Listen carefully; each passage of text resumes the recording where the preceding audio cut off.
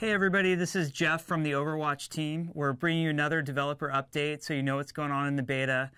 Things have been going awesome so far. Your participation has been fantastic. For those of you not in the beta, we've also really appreciated hearing all your thoughts and concerns and ideas um, in the community. That's been pretty amazing. So as you guys know, we just put out uh, a decent sized patch for the beta. There were a lot of under the hood changes that we're working on. One of the areas that we're most excited about to explore in this beta test is matchmaking. So there's some key matchmaking things that we're going to experiment with uh, this time around. And I, I sort of want to apologize in advance because there might be moments where you get some imbalanced matches. There might be moments where you have to wait a little bit longer for matches. We actually think it'll be the opposite, that you'll get matches quicker, but they probably might not seem as fair um, because we're doing a lot of experimentation.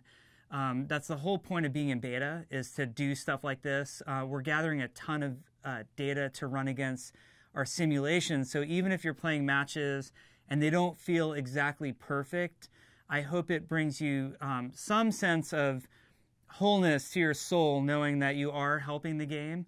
Um, and we really appreciate you guys doing that. You'll also notice a new feature uh, during the end of round flow that we added to help with our matchmaking. And what that feature is, is something called rate this match. So you'll have the ability in the end of round flow to actually click on an interface and say, I had a really positive or negative experience. Um, and that's going to help us tremendously in a lot of different ways. We really appreciate if you, you know, let us know was it a positive or negative match. The other thing that will be in this new beta patch is something called rate the other players in the match. And what you can do there is if there was a particular player who you really enjoyed playing with or did not enjoy playing with, please let us know through that interface. Again, it's a, it's an experiment and we might try all sorts of different things with it but it really helps us gather data to let us know is the matchmaking system doing what we want um, or do we need to adjust it? So we appreciate your patience with the matchmaker. It's actually been fantastic for us. We've done a number of changes. We know that there's not a, a ton of transparency and visibility into what's happening, but know that we're really working hard on it. And there's, there's a lot of data that we're gathering um, throughout the process. So the other thing that I know you guys are always interested in is hero balance. And um, just by you playing matches, we're gathering a ton of great information that helps us know how to balance the heroes. Um, we're also getting to play a uh, tremendous amount alongside of you guys. Um, so we're getting our own anecdotal sense of where the, the hero balance is as well. Um, we did a recent patch uh, a few weeks ago. Most of you will remember it where we made some changes. Um, and there was a lot that, of good that came out of that. We made changes to Symmetra, which we think were, were overall quality of life changes. We increased the, the time at which you could place shields on your allies. And we also uh, tweaked her turret cooldown a bunch. And we're, we're feeling really strong about these. We feel like it made Symmetra a lot more viable on offense, not just on defense. And it also made the Symmetra playstyle a lot more active um, there's a lot more of an actiony vibe when you play her. You feel like you can quickly set up an area. If Winston comes along and takes out your turret nest, you can recover quickly from it. So we're feeling pretty good about the Symmetra changes. Uh, one of the changes that we're not feeling great about is the tweak we did to Mercy's Resurrection.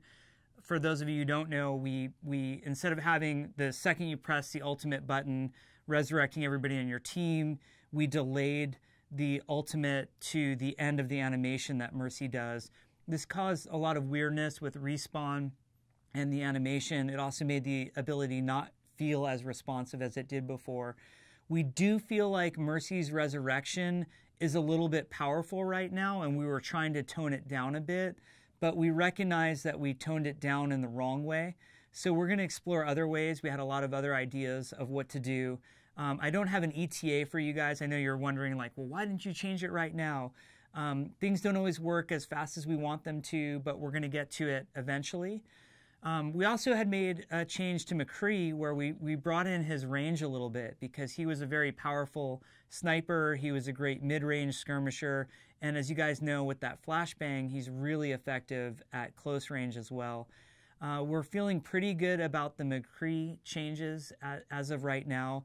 We know that there was some backlash, um, particularly amongst McCree players, um, wishing that he was still as powerful as he was before. Uh, we recently watched a competitive tournament where McCree performed really well in a highly competitive environment. So we're feeling pretty good about McCree overall. And we still have a lot of beta left, uh, so there's a lot of time to tweak on him and get him to the right place. Um, lastly, some of you are wondering, you know, what other heroes are kind of on our radar, and what else do we want to address as the beta goes on? Um, one, there's there's a particular uh, two heroes that are a little bit tricky for us, and they are Bastion and Torbjorn. Uh, and I want to talk a little bit about them and, and what the issue is. So, as new players approach the game, they tend to have trouble with three things Torbjorn, Bastion, and um, attacking. Uh, they, they tend to feel like defense always wins, that Bastion's overpowered, and Torbjorn is impossible to beat his turret.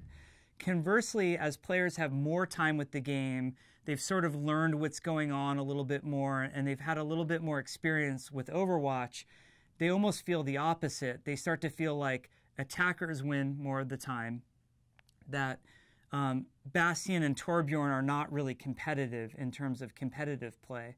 So this is something that's very much uh, in discussions right now, particularly amongst the design team. We've tried some pretty radical changes internally that we're not quite ready to go live with just yet. We, we, we kind of like to push very far and then pull back a little bit. But I think sometime in the future, I, I don't think you'll see um, radical changes to Torbjorn and Bastion this year. But I think early next year, you can probably expect some tweaks to them and what we're looking to do is to make Torbjorn and Bastion not feel as devastating to brand new players of the game and to feel way more viable in, in competitive setups later on. So that's something we're thinking a lot about. Um, we welcome your thoughts and feedback. We know you guys have a ton of ideas. You guys think very deeply about this game. We've listened to a lot of your feedback in the past. So we're excited to see where the discussion goes we have some things that we're going to try, and that's something for you guys to look forward to.